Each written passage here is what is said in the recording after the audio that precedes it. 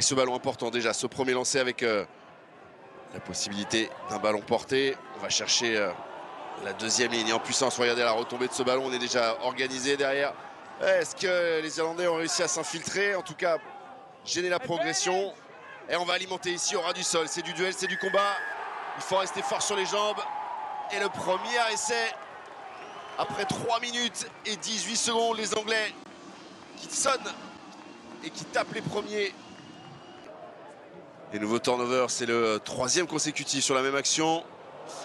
Ouais, elle est limite en avant cette passe, en tout cas pas signalée. Ça profite aux Irlandais avec un bon ballon pour euh, McLaughlin. Murphy. Et voilà ce qu'il n'avait pas réussi à faire tout à l'heure hein, sur le renversement.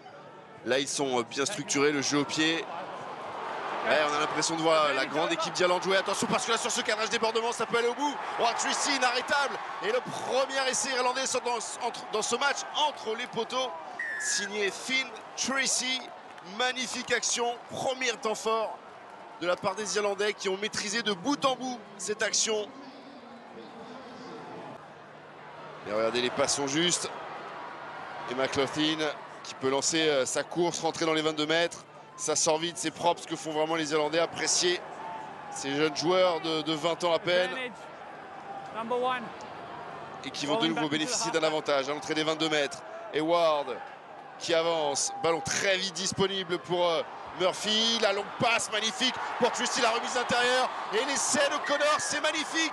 Exceptionnel essai de ces Irlandais qui régalent. C'est du grand, du très très grand rugby pour ces jeunes joueurs d'à peine 20 ans. On l'a dit, opposition de style et pour l'instant léger avantage aux Irlandais avec ces deux points d'avance et surtout cette menace qui se précise à 5 mètres de la ligne. Des avant lancés, Kofi qui alimente. il remporte l'impact à chaque fois les joueurs irlandais arrivent à avancer. Pas d'en avant, le ballon qui reste sous contrôle irlandais. Tentative du côté anglais, on essaie de gêner la progression irlandaise. Les joueurs qui alimentent. Extérieur et grand côté. Et on va aller chercher encore une fois McLaughlin. Et bien voilà, cette fois, il est récompensé. Rotation et, changement classique. Le voici au Walker. Et on reprend sur un ballon porté où il est dynamique, il avance parfaitement. Attention Walker pour son premier ballon. Et bien voilà, il va aller inscrire un nouvel essai pour son équipe. C'est ce qu'on appelle une entrée gagnante. Juste le temps euh, d'effectuer un lancer, de récupérer ce ballon sur ce ballon porté et d'aller conclure. J'aurais aimé euh, entendre l'arbitre sur le, pourquoi. Ah, on va suivre l'action, c'est plus important. Avec euh, Kirk en poussée, de nouveau dangereux. Les Anglais avec tout le public là qui s'est réveillé maintenant. Allez, la, la réaction, la voici. Et eh bien cette fois sans contestation possible. L'essai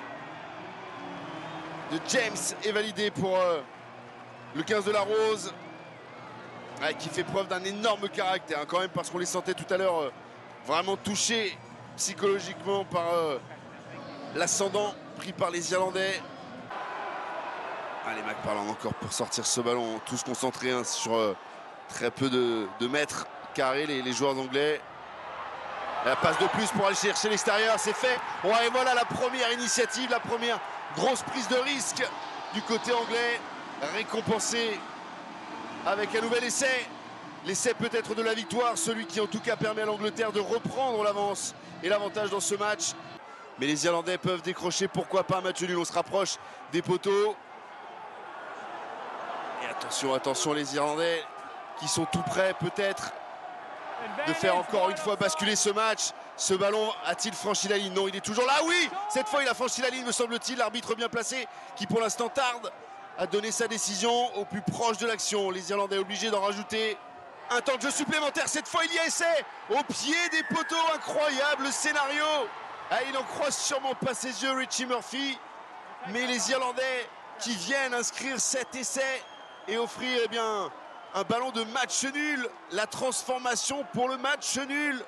Oui, il y en a certains qui ne veulent pas voir ça. C'était euh, Pollock l'anglais.